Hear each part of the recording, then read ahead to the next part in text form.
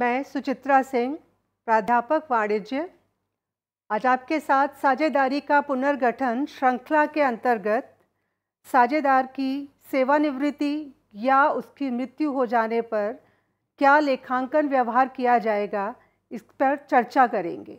तो इस अध्याय के अंतर्गत निम्न बिंदुओं पर विचार करेंगे। शेष साझेदारों का नया लाभ विभाजन अनुपात क्या होगा? अभिलाभ अनुपात की गणना किस तरह से की जाएगी? ख्याति का लेखांकन व्यवहार क्या होगा? पुनर्मूल्यांकन खाता कैसे बनाया जाएगा?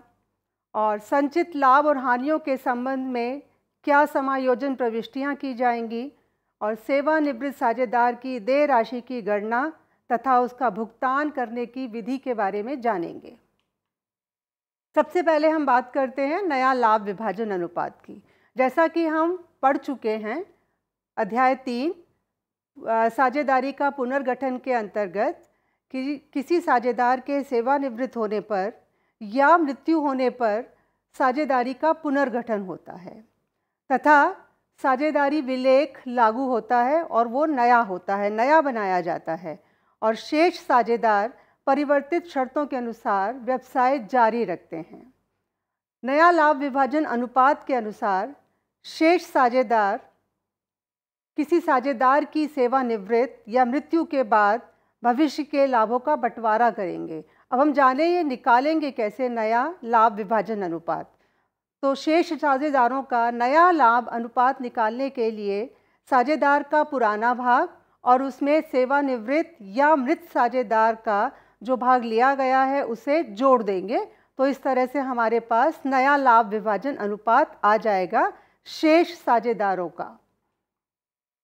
अब जब नया लाभ अनुपात आएगा तो हो सकता है कोई साझेदार अपने भाग का, लाभ का भाग छोड़े और जो वो लाभ का भाग छोड़ेगा, उसे कोई साझेदार अनुग्रहित करेगा। तो इस अवस्था में हम अभिलाभ अनुपात की गणना करेंगे। अभिलाभ अनुपात विद्यमान साझेदार जिस अनुपात में सेवानिवृत्त या मृत साझेदार के प्राप्त भाग का अधिग्रहण करेंगे, उसे अभिलाभ अनुपात कहते हैं। यानी वह अभिलाभ अनुपात कहलाता है। विद्यमान साझेदारों का लाभ में भाग हम गणना करेंगे। इसका मतलब जब नया लाभ अनुपात लागू हो गया तो विद्यमान साझेदार यानी कि सेवानिवृत्त साझेदार के अलावा जो विद्यमान साझेदार हैं, शेष साझेदार हैं उनके लाभ के भाग की गणना करने के लिए उनके नए भाग में से पुराने भाग को घटा देंगे। यदि नया भाग अधिक है तो उसे फ़ायदा हो रहा है, इसका मतलब उसे अभी लाभ हो रहा है। और यदि उसका पुराना भाग ज़्यादा था और नया भाग कम है, इसका मतलब वो अपने भाग का त्याग कर रहा है।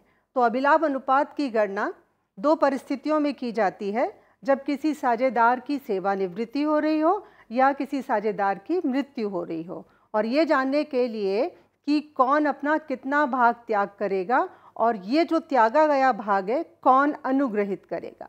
अब संभावना हो सकती है कि अगर एक साझेदार सेवानिवृत्त हो रहा है तो विद्यमान साझेदार नए लाभ विभाजन अनुपात के लिए आपस में सहमत हो जाएँ। यानी उनका पुराना जो लाभ विभाजन अनुपात था, वो तो सेवानिवृत्त साझेदार के साथ था और उसके जाने के बाद जो शेष साझेदार हैं, विद्यमान साझेदार हैं, वो किसी नए लाभ विभाजन अनुपात के लिए सहमत होते हैं। इस स्थिति में जो अनुपात दिया गया है, प्रश्न के अनुसार वही उनका नया लाभ विभाजन अनुपात होगा। दूसरी संभावना हो सकती है कि विद्यमान साझेदार, सेवानिवृत्त साझेदार या मृत साझेदार के भाग को पुराने लाभ विभाजन अनुपात में ही अधिग्रहित करेंगे। यहाँ उनके मध्य नया लाभ विभाजन अनुपात करने की आवश्यकता नहीं है। क्योंकि वे उनके बीच जो साझेदार सेवानिवृत्त हो रहा है, उसका भाग पुराने लाभ विभाजन अनुपात के समान होगी, क्योंकि सूचना के अभाव में ये मान लिया जाएगा कि वह पुराने लाभ विभाजन अनुपात में ही उसके भाग का अधिग्रहण करेंगे और भविष्य के लाभों का विभाजन भी इसी अनुपात में करेंगे। अब इन परिस्थितियों को जानने के लिए कि जब नया लाभ विभाजन अनुपात का सहमति हो रही है और एक साझेदार की सेवानिवृत्ति हो रही है, इस परिस्थितियों को जानने के लिए हम इस पर एक प्रश्न के द्वारा प्रकाश डालेंगे। मानते हैं कि ए बी और सी साझेदार हैं। उनके लाभ का विभाजन दो अनुपात दो अनुपात, एक के अनुपात में करते हैं वो। बी फर्म से सेवानिवृत्त हो रहा है। इन स्थिति में नए लाभ विभाजन अनुपात तथा अभिलाभ अनुपात की गणना किस तरह से की जाएगी? पहली परिस्थिति है, निम्न परिस्थितियाँ ली हैं मैंने। मैं तीनों परिस्थितियों को एक साथ उस पर विचार करूँगी। पहले भाग में बी के भाग के अधिग्रहण की सूचना नहीं दी गई है, यानी बी जो सेवानिवृत्त हो रहा है, उसका भाग ए और सी किस अनुपात में लेंगे इसकी सूचना नहीं दी गई है। दूसरे भाग में बी का भाग यानी बी साझेदार जो सेवानिवृत्त हो रहा है, उसके भाग का अधिग्रहण ए और सी दो अनुपात तीन में करेंगे। और तीसरी परिस्थिति है कि शेष साझेदारों के मध्य, यानी कि साझेदार जो सेवानिवृत्त हो गया है, उसके बाद शेष साझेदारों के मध्य नया लाभ अनुपात, लाभ विभाजन अनुपात, उन्होंने सहमति से तीन अनुपात दो माना है। तो इन तीनों परिस्थितियों में नया लाभ विभाजन कैसे निकाला जाएगा? और अभिलाभ अनुपात की गणना कैसे की जाएगी, इस पर हम चर्चा करते हैं। मान लेते हैं ए बी प्रश्न के अनुसार ए बी सी तीन साझेदार है। अनुपात है उनका दो अनुपात दो अनुपात एक। बी सेवानिवृत्त हो रहा है, इसलिए हम इसको अलग ले लेते हैं। अब जो बी का भाग है, वो ए और सी लेंगे, लेकिन किस अनुपात में लेंगे, इसके बारे में प्रश्न में कुछ जानकारी नहीं दी गई है तो ऐसी स्थिति में माना जाएगा कि बी का भाग ए और सी अपने पुराने अनुपात में लेंगे, यानी दो अनुपात एक में लेंगे। तो बी का भाग है दो बटा पाँच, दो अनुपात एक में निकालने पर ए कितना लेंगे सी कितना लेंगे? ए लेंगे दो बटा पाँच का दो बटा तीन, चार बटा पंद्रह। और ये लेंगे दो बटा पाँच का एक बटा तीन, यानी दो बटा पंद्रह। हम ए का नया भाग निकाल सकते हैं। एक का नया भाग हो जाएगा, एक का पुराना भाग, दो बटा पाँच, जमा जो उसे मिला, चार बटा पंद्रह। छ जमा चार, यानी दस बटे पंद्रह। अब बी क्योंकि सेवानिवृत्त हो गया, उसका नया भाग नहीं होगा, हम सी का नया भाग निकालें। सी का नया भाग होगा, सी का पुराना भाग एक बटा पाँच जमा, उसको मिला दो बटा पंद्रह। यानी ये आया पाँच बटा पंद्रह। तो ए का नया भाग और बी का नया भाग तो ए और सी का नया अनुपात हो जाएगा दस, अनुपात पाँच या दो, अनुपात एक। और इस स्थिति में देखें कि अगर ये जानकारी नहीं दी गई है कि बी किस राशि में अपना अनुपात विभाजित करेंगे या ए और सी किस अनुपात में अधिग्रहित करेंगे तो किसी सूचना के अभाव में वो पुराने लाभ अनुपात में ही अधिग्रहित करेंगे और उनका जो नया लाभ अनुपात होगा वो भी पुराने लाभ अनुपात के समान होगा। अब हम दूसरी स्थिति के बारे में जानते हैं। यहाँ लिखा है बी के भाग का अधिग्रहण शेष साझेदार दो अनुपात तीन में करेंगे। यहाँ पर अनुपात दिया हुआ है, दो अनुपात तीन में करेंगे। यानी ए और बी सी को ए को कितना मिलेगा? दो बटा पाँच का दो बटा पाँच। और सी को मिलेगा दो बटा पाँच का तीन बटा पाँच। ये हो जाएगा चार बटे पच्चीस और ये हो जाएगा छः बटे पच्चीस। फिर से हम ए का नया भाग निकालें। ए का नया भाग हो जाएगा उसका पुराना भाग, जमा जितना उसे नया मिला है, अधिग्रहित किया है उसने। तो यहाँ हो गया चौदह बटे पच्चीस और सी का नया भाग सी का पुराना भाग था एक बटा पाँच जमा उसे मिला छ बटा पच्चीस, पाँच प्लस और छ। ये बन गया हमारा ग्यारह बटे पच्चीस। तो अब हम देखेंगे ए और सी का नया भाग बन गया, यानी ए और सी का नया अनुपात। जिस अनुपात में वो लाभ विभाजित करेंगे, वो हो जाएगा चौदह अनुपात ग्यारह। और हम अपने उत्तर की जाँच कर सकते हैं। इसका मतलब 25 में से 14 भाग इसको 25 में से 11 तो इन दोनों का जोड़ मिलाकर 25 बन जाना चाहिए। और जिस राशि, जिस अनुपात में वो अधिग्रहित करेंगे, ये उनका अभिलाभ अनुपात हो जाएगा। तो आप देख रहे हैं कि हम साथ साथ नए अनुपात के साथ साथ अभिलाभ अनुपात की गणना भी कर रहे हैं। तीसरी परिस्थिति में शेष साझेदारों के मध्य अब नया लाभ विभाजन अनुपात दिया हुआ है, यानी ये पुराना अनुपात दिया हुआ है और तीसरी परिस्थिति में नया लाभ विभाजन अनुपात दिया है। जैसा कि मैंने अभी इस पर चर्चा की कि नया लाभ विभाजन अनुपात निकालने के लिए साझेदार के पुराने अनुपात में नया अधिग्रहित अनुपात जोड़ दिया जाएगा। लेकिन यहाँ पर जब भी साझेदार निवृत्त हो रहा है, वो किस अनुपात में अपना लाभ का भाग ए और सी को दे जा रहा है, इसकी कोई जानकारी नहीं है। लेकिन नया अनुपात उन्होंने अपने आप में सहमति बनाई है कि बी के जाने के बाद ए और सी के बीच जो नया अनुपात होगा, वो तीन अनुपात दो होगा। अब इसके अनुसार हम सीधा हमें यहाँ नया लाभ विभाजन अनुपात निकालने की आवश्यकता नहीं है, क्योंकि वो पहले से ही दिया हुआ है। हम निकालेंगे सीधा अभिलाभ अनुपात। अभिलाभ अनुपात यानी कि उसका नया अनुपात घटा पुराना अनुपात। अगर हम देखें तो ये आता है एक बटा पाँच। ये आता है ए का अभिलाभ। अब हम निकालते हैं सी का अभिलाभ, देखें। सी का नया भाग है दो बटा पाँच, घटा पुराना भाग है एक बटा पाँच, एक बटा पाँच। यानी ए को अभिलाभ हो रहा है एक बटा पाँच सी को अभिलाभ हो रहा है एक बटा पाँच तो इनका अभिलाभ अनुपात हो जाएगा एक अनुपात एक। तो यहाँ नया लाभ विभाजन ये हो गया और अभिलाभ अनुपात एक अनुपात हो गया। तो तीनों ही परिस्थितियों में जब पहली परिस्थिति थी, अधिग्रहण की सूचना नहीं दी गई थी, उस परिस्थिति में शेष साझेदारों का जो पुराना लाभ विभाजन अनुपात होगा, वही उनका अभिलाभ अनुपात होगा और वही उनका नया लाभ विभाजन अनुपात होगा। दूसरी स्थिति में जब शेष साझेदार किस राशि में, किस अनुपात में अधिग्रहण कर रहे हैं, जिस अनुपात में अधिग्रहण कर रहे हैं, वो उनका अभिलाभ अनुपात होगा। और यहाँ हमने नए नए लाभ विभाजन अनुपात की गणना की थी। तीसरे स्थिति में नया लाभ विभाजन पहले से ही दिया हुआ है। यहाँ पर हमने अभिलाभ अनुपात की गणना की, एक अनुपात एक आया।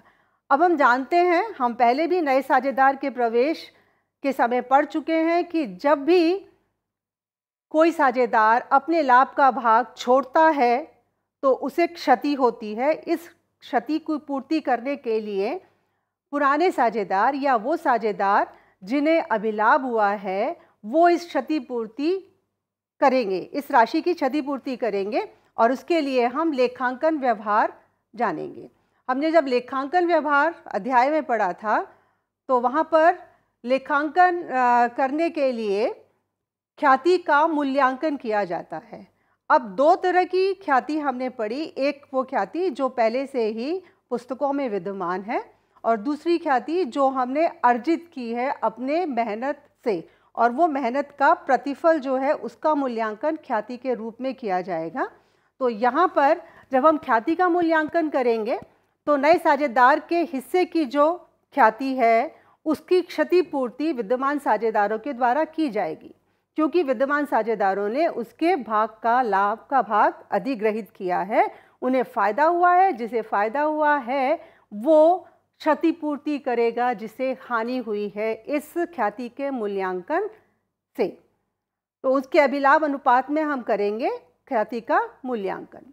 पहला भाग है, जब ख्याति पुस्तकों में विद्यमान नहीं है, यानी ये आपकी अर्जित ख्याति ख्याति है, और अर्जित ख्याति का मूल्यांकन करेंगे ऐसा हम पहले जान चुके हैं साझेदारी के पुनर्गठन में जब हमने ख्याति पर पूरा चर्चा की थी।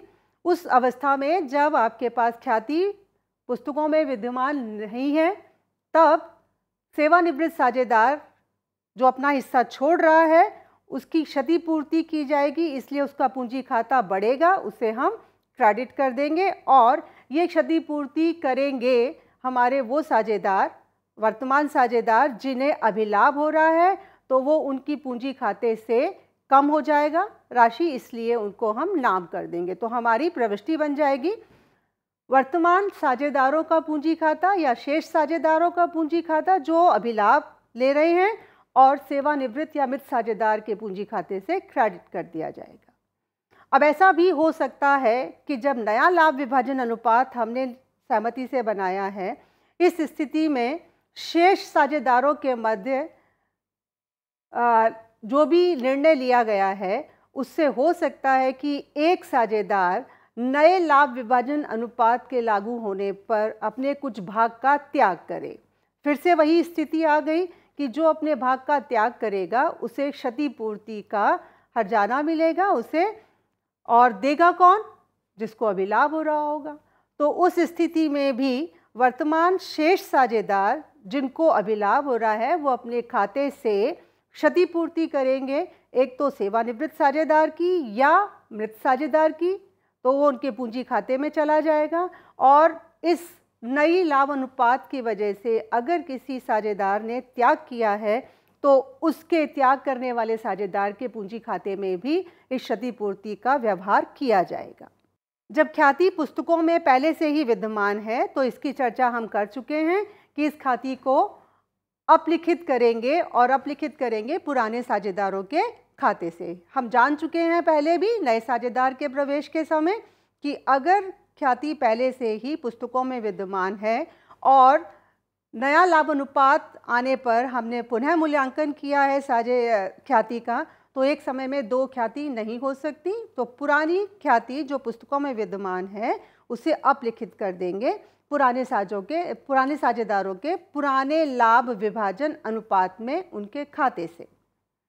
अब है प्रचन्न ख्याति। कभी कभी ऐसा हो सकता है कि जब सेवानिवृत्त साझेदार या मृत साझेदार के भुगतान के रूप में उसे एक मुश्त राशि देने का निर्णय करते हैं शेष साझेदार या फर्म। तो उसको जो दे राशि है, फर्म उससे अधिक राशि का भुगतान करने के लिए जो आधिक्य दिया जाएगा, वह उसके भाग के ख्याति के रूप में माना जाएगा। हम इसे एक उदाहरण की तरह समझते हैं कि मान लीजिए ए बी और सी साझेदार हैं, उनका लाभ विभाजन अनुपात तीन अनुपात, दो अनुपात एक है। यहाँ सी सेवानिवृत्त हो रहा है और उस समय उनके पूंजी खाते में क्रमशः परिसंपत्तियों तथा दायित्वों का पुनर्मूल्यांकन या सब तरह के समायोजन करने के पश्चात उनके पूंजी खाते में राशि है नब्बे हज़ार। और ए और बी उसके दावे के निपटारे को करने के लिए या फर्म उसके दावे के निपटारे को करने के लिए उसे एक लाख रुपए देने के लिए सहमत हो जाती है। तो यहाँ नब्बे हज़ार की जगह अगर आप उसे एक लाख देने को सहमत हुए हैं तो दस हज़ार रुपये जो आप उसे आधिक्य दे रहे हैं, वास्तव में ये उसके ख्याति का भाग है, जिसे हम प्रचन्न ख्याति के नाम से जानेंगे। चलिए, अब हम ख्याति का व्यवहार कर चुके अब हम जानेंगे कि पुनर्मूल्यांकन खाता क्यों और कैसे बनाया जाता है। नए साझेदार के प्रवेश के समय हम इस पर चर्चा कर चुके हैं कि जब भी लाभ अनुपात विभाजन में परिवर्तन होता है तो उस समय जितनी भी तुलन पत्रिका में संपत्तियाँ और दायित्व हैं, उनको वर्तमान मूल्य में दिखाया जाता है, क्योंकि इस पुनर्मूल्यांकन से जो भी लाभ या हानि होगी, वो साझेदारों के बीच में पुराने अनुपात में विभाजित की जाएगी। उसका बंटवारा पुराने लाभ विभाजन अनुपात में होगा। तो पुनर्मूल्यांकन खाता बनाते हुए हम ध्यान रखेंगे कि यदि अगर हमारी परिसंपत्तियों के परिवर्तन होने पर मूल्य में कमी हो रही है तो उसे नाम पक्ष में लिखेंगे और अगर परिसंपत्तियों के मूल्य में वृद्धि हो रही है तो उसे जमा पक्ष में लिखेंगे। साथ ही यहाँ एक चर्चा कर लेते हैं कि प्रविष्टियाँ कैसे की जाएँगी। तो जब मूल्य में वृद्धि होगी, हम परिसंपत्तियों की मूल्य में वृद्धि करने के समय मूल्यांकन खाते में उसको दर्शाएँगे, जमा पक्ष में हमारी प्रविष्टि हो जाएगी। परिसंपत्तियों के मूल्य में वृद्धि, यानी कि जिस परिसंपत्ति के नाम से है, परिसंपत्ति खाता जमा नाम पुनर्मूल्यांकन खाता। और अगर कमी होगी तो हमारी प्रविष्टि हो जाएगी, पुनर्मूल्यांकन खाता, नाम परिसंपत्ति खाता। इसी तरह से दायित्वों में भी वृद्धि या कमी कमी देखी जाएगी तो उस स्थिति में अगर दायित्वों में कमी होती है तो जिस दायित्व में कमी हुई है, उसे पुनर्मूल्यांकन खाते के जमा पक्ष में लिख दिया जाएगा और प्रविष्टि हो जाएगी दायित्व खाता नाम पुनर्मूल्यांकन खाता। और अगर दायित्व में वृद्धि होती है तो आपकी प्रविष्टि हो जाएगी पुनर्मूल्यांकन खाता नाम दायित्व खाता। इसी तरह से जब हम पुनर्मूल्यांकन कर रहे हैं, हो सकता है कि किसी परिसंपत्ति का अभिलेखन तुलन पत्रिका में ना किया गया हो या किसी अभिलेखित गैर अभिलेखित दायित्व का पुनर्मूल्यांकन तुलन पत्रिका में नहीं किया गया हो। ऐसी स्थिति में उस गैर अभिलिखित परिसंपत्ति का हम मूल्यांकन करेंगे और उसे मूल्यांकन खाते के जमा पक्ष में लिख देंगे। हमारी प्रविष्टि हो जाएगी गैर अभिलेखित परिसंपत्तियाँ खाता, नाम, पुनर्मूल्यांकन खाता।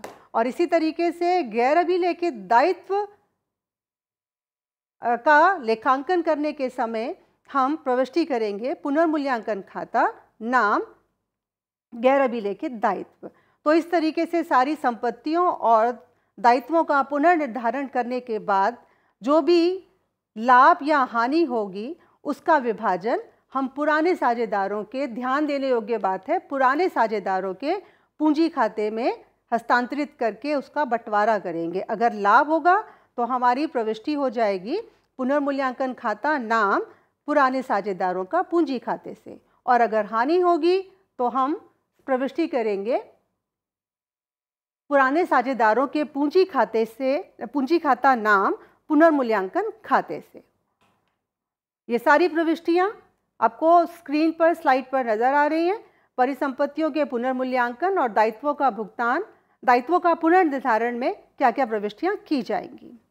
इसकी चर्चा मैं अभी आपके साथ जब पुनर्मूल्यांकन खाता बना रही थी, तब इसकी चर्चा मैंने आपके साथ की है। अब सारी संपत्तियों का मूल्यांकन हो चुका, पुनर्मूल्यांकन हुआ, दायित्वों का पुनर्निर्धारण हुआ और इससे जो भी लाभ या हानि हुई, वो सेवानिवृत्त साझेदार के खाते में हस्तांतरित कर दी जाएगी, क्योंकि इस लाभ और हानि में उसका हिस्सा है।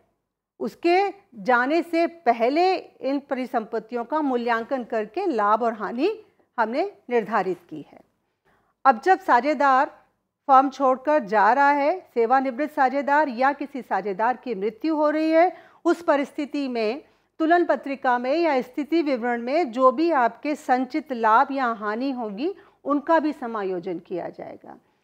कभी कभी ऐसा होता है कि फर्म या संस्था, फर्म जितने भी संचित लाभ हैं, उनका विभाजन साझेदारों के पूंजी खाते में नहीं करती है, उनका हस्तांतरण नहीं करती है तो वो आपके स्थिति विवरण खाते में नज़र आते हैं। जैसे देता, दिख रहा है आपको स्क्रीन पर स्थिति विवरण खाते में, देता पक्ष की तरफ़ सामान्य संचय या संचय कोष या लाभ हानि खाते का जमा शेष। अगर नाम शेष होगा तो वो हानि होगी और अगर जमा शेष होगा तो वो लाभ होगा।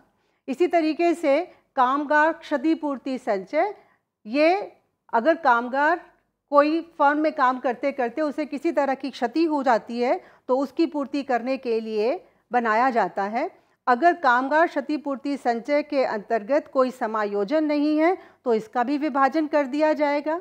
इसी तरह से निवेश में उतार चढ़ाव के लिए भी एक संचय बनाया जाता है। अगर निवेश के उतार चढ़ाव में हाँ लाभ होता है तो इसका इस्तेमाल नहीं करेंगे, लेकिन अगर हानि होती है तो उस हानि की कमी यहाँ इस निवेश में उतार चढ़ाव संचय से की जाएगी और बाकी बची हुई राशि साझेदारों के खाते में हस्तांतरित कर दी जाएगी, उनके पूंजी खाते में हस्तांतरित कर दी जाएगी। इसका मतलब जब साझेदार सेवानिवृत्त होगा तो उसे इन सभी सामान्य या संचित लाभों का हिस्सा मिलेगा।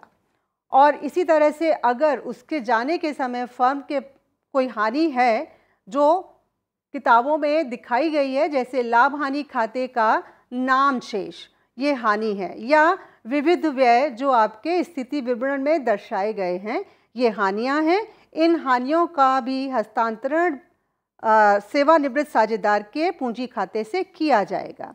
अब अगर हम जाने कि यहाँ पर हमारी प्रविष्टि क्या होगी तो जब हम साझेदार के संचित लाभों को हस्तांतरित करेंगे तो वो सारे संचय हमारे ख़त्म हो जाएँगे, उनको हम नाम कर देंगे और पुराने साझेदारों का पूंजी खाता बढ़ जाएगा, इसलिए उसको क्रेडिट कर देंगे। इसी तरह से अगर हानियाँ होती हैं तो वो हानियों का बंटवारा भी पुराने साझेदारों के पूंजी खाते से होगा। तो पुराने साझेदारों का पूंजी खाता कम हो जाएगा, इसलिए उसे नाम कर देंगे और लाभ हानि खाते का शेष जो भी है, जिसका बंटवारा आप कर रहे हैं, वो ख़त्म हो जाएगा, इसलिए उसे क्रेडिट कर देंगे। अब हम जानेंगे सेवानिवृत्त साझेदार का पूंजी खाता बनाते के समय हम किन बातों का ध्यान रखेंगे। हम उसके जमा पक्ष में लिखेंगे, जो भी उसका पूंजी का शेष है, पूंजी खाते का शेष या चालू खाते का शेष, यहाँ पर जमा पक्ष वाला शेष लिखा जाएगा। अगर नाम पक्ष का शेष होगा तो वो नाम पक्ष में लिखा जाएगा। ख्याति का भाग जो उसे मिलेगा, संचित लाभ का भाग जो उसे मिलेगा, पुनर्मूल्यांकन पर अगर लाभ हो रहा है तो उसका जो भाग उसे मिलेगा, या अगर वर्ष के मध्य में सेवानिवृत्त होता है तो उसकी पूंजी पर ब्याज या शर्तों के अनुसार कोई कमीशन या उसको वेतन देना हो, उसे जमा पक्ष में लिखेंगे।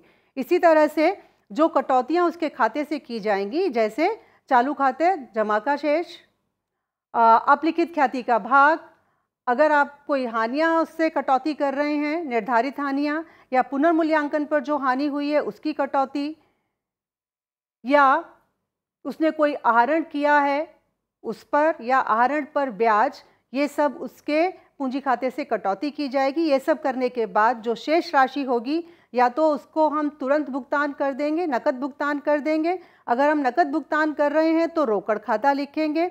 और अगर हम उसका भुगतान नहीं कर पाते हैं तो रोकड़ खाते की जगह हम लिखेंगे सेवानिवृत्त साझेदार का ऋण खाता।